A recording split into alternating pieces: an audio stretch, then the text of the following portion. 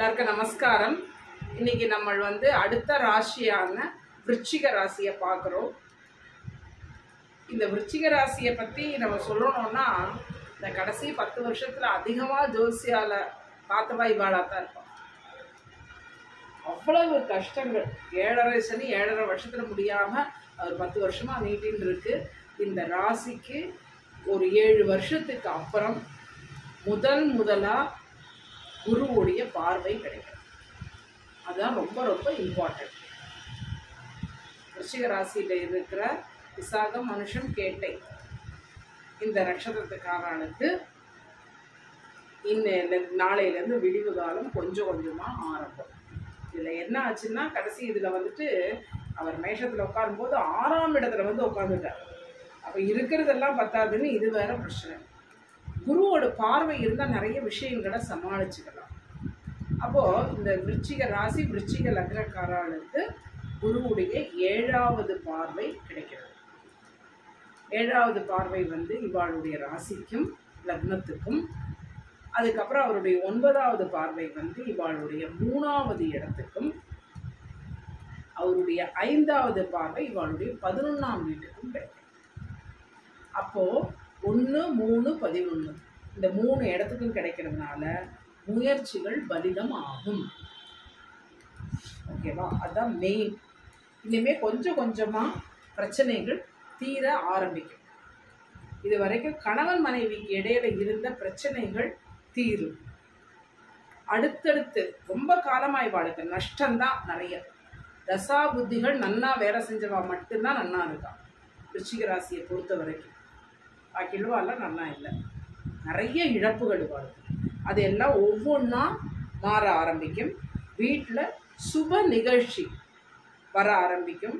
எல்லாரும் சொந்தக்காரா எல்லாரும் உங்கள் ஆத்துக்கு உங்களை தேடி வரக்கூடிய ஒரு நிலைமை உருவாக தொடங்கி இருக்கு. வருமானம் வசதி எல்லாமே கொஞ்சம் கொஞ்சமாக தான். ஒரேடிய ஒரே நாளில் வந்து ஆகாது. இட் வில் டேக் டைம் ஆனால் இனிமேல் வரதெல்லாம் பெர்மனண்ட்டாக நன்னா வரும். அடுத்த ஆறு ஏழு வருஷத்துக்கு அதிகம் கவலைப்பட்டுக்க வேண்டாம். தள்ளி போன கல்யாணங்கள் நடக்கும். குழந்தை பாக்கியம் இல்லாதவாறு குழந்தை பாக்கியம் நடக்கும். அப்புறம் எல்லாரும் உங்ககிட்ட அகெயின்ஸ்டா பேசிட்டு இருந்தவன் எல்லாரும் கொஞ்சம் கொஞ்சமா உங்களுக்கு சப்போர்ட்டிவா பேச ஆரம்பிப்பான் தன்னிச்சையா முடிவெடுப்பீடு. ஏன்னா மூணாவது வீட்டை பார்க்கறதுனால தன்னிச்சையான முடிவுகள். எல்லாரும் உங்களோட ஒய்ஃப் ஹஸ்பண்ட்னா ஒய்ஃபு ஒய்ஃப்னா ஹஸ்பண்ட் அவளை வந்து சப்போர்ட் பண்ண ஆரம்பிப்பா.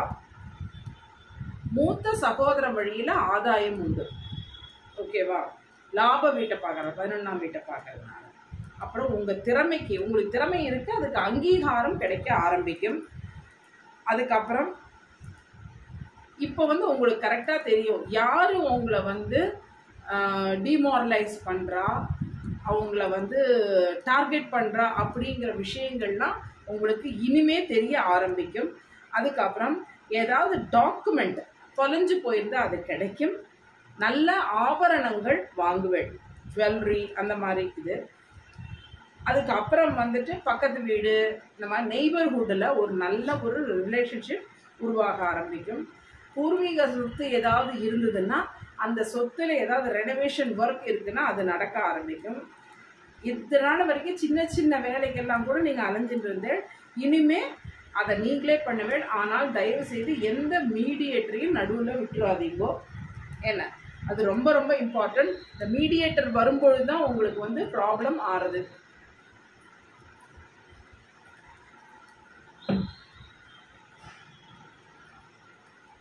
யாரானாலும் சொந்தக்காரா ஃப்ரெண்ட்ஸு யாரானாலும் ஒரு டிஸ்டன்ஸ் மெயின்டைன் பண்ணுங்க. ஒரு டிஸ்டன்ஸ் மெயின்டைன் பண்ணினா இந்த வேலைகள்லேருந்து எந்த ப்ராப்ளம் வராமல் சுமூகமாக நடக்கும். வெறுமன கெட்ட பேரும் வாங்கிக்க வேண்டாம். நிறைய விஷயங்கள் புதிய பதவி எல்லாமே கிடைக்கும். சொந்த ஊரில் இருந்த செல்வாக்கு போன செல்வாக்கு கிடைக்கும். திடீர் திருப்பம். அதாவது ஏதாவது அதர் கம்யூனிட்டி பீப்புள் கூட ஏதாவது பிஸ்னஸ் பண்ணுறேன் அதர் லாங்குவேஜ் பீப்புள் கூட பிஸ்னஸ் பண்ணுறேன்னா அதெல்லாம் உங்களுக்கு வந்து ஒரு சாதகமாக முடியக்கூடிய நிலைமையில் இருக்கும். ஃபஸ்ட்டு இப்போ ஒன்று அஞ்சு ரெண்டாயிரத்தி இருபத்தி நாலுலேருந்து பதிமூணு ஆறு ரெண்டாயிரத்தி இருபத்தி நாலு வரைக்கும் சூரியன் வந் சூரிய நட்சத்திரத்தில் குரு சஞ்சாரம் பண்ணுறார் கார்த்திகை நட்சத்திரத்தில். அதனால நீங்கள் வந்து நடக்க முடியாத காரியங்களை நடத்தி காட்டுவேன் புதிய வேலை வாய்ப்பு அமையும். அரசாங்கத்தால் ஆதாயம் கிடைக்கும். சொத்து சம்பந்தப்பட்ட வழக்குகள் சாதகமாக முடியும். தள்ளிப்போன திருமணம் குழந்தை பாக்கியம் அது எல்லாம் நடக்கும். வீடு மனை வாங்க வங்கி கடன் ஏதாவது லோன் ஏதாவது அப்ளை பண்ணியிருக்கேன்னா அது வந்து உங்களுக்கு வந்து ஒர்க் அவுட் ஆகிடும் லோன் சாங்ஷன் ஆகிடும் அடுத்தது பதிமூணு ஆறு ரெண்டாயிரத்தி இருபத்தி நாலுலேருந்து பதினெட்டு பத்தொம்போது எட்டு ரெண்டாயிரத்தி இருபத்தி நாலு வரைக்கும் அப்புறம் இருபத்தெட்டு பதினொன்று ரெண்டாயிரத்தி இருபத்தி நாலுலேருந்து பத்து நாலு ரெண்டாயிரத்தி இருபத்தஞ்சு வரைக்கும் உங்களுடைய பாக்யாதிபதியான ரோகிணி நட்சத்திரத்தில் குரு பகவான் நடக்க போகிறதுனால பண வரவு அதிகரிக்கும். தந்தை தாயார் தந்தை இருந்தார்னா அவருக்காக மெடிக்கல் எக்ஸ்பென்சஸ் செய்ய வேண்டி வரும். அதே நேரத்தில் புது வாகனம் அப்புறம் நகைகள் வாங்கக்கூடிய ஒரு சுச்சுவேஷன் வரும்.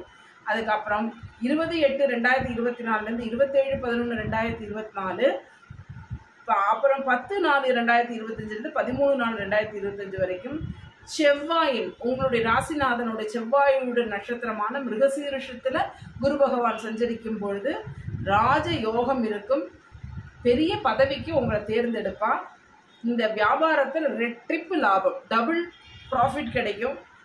கடையை மாற்றுவேன் பதவி உயர்வு சம்பள உயர்வு கிடைக்கும். அப்புறம் சீனியர் கூட ரொம்ப க்ளோஸ் ஆவள் வேலைக்கு போகிறவா இனிமே வந்து இத்தனை நாள் இவ்வளோ பிரச்சனையில் இருந்த உங்களுக்கு இனிமே வர்றது எல்லாமே நல்லது தான் நீங்கள் வந்து தட்சிணாமூர்த்திக்கு நெய் விளக்கு ஏற்றுங்கோ அப்புறம் செருப்பு தைக்கிற தொழிலாளி ஏதாவது அந்த மாதிரி பண்ணுறவா அதாவது கொஞ்சம் லோ லெவலில் இருக்கிறவாளுக்கு உங்களால் முடிஞ்ச ஹெல்ப் பண்ணுங்க. இந்த விசாகம் மனுஷம் கேட்டேன் இந்த மூணு நட்சத்திரத்துக்கும் இத்தனை நாள் இருந்த ஏழரை சனி அப்புறம் வந்து நாலில் சனி பகவான் இந்த மாதிரி ப்ராப்ளத்தை எல்லாத்தையும் இப்போதைக்கு எந்த ப்ராப்ளமும் இல்லாமல் அடுத்த ஒரு வருஷம் நன்றாக இருக்கும். அடுத்த ஆறு வருஷமே நன்னா இருக்கும். நடுவில் ஒரே ஒரு வருஷத்தில் தவிர. எட்டாம் இடத்துல குரு பகவான் சஞ்சரிக்கிற காலத்தில் மட்டும் உங்களுக்கு ப்ராப்ளம் வரும். இது ஒன்று தான் இந்த இதில். அதுபோல் இந்த வருஷ குரு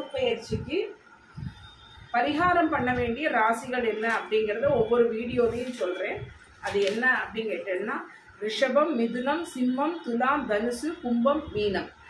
உங்கள் ராசிக்கு எந்த விதமான பல பரிகாரமும் செய்ய வேண்டாம்.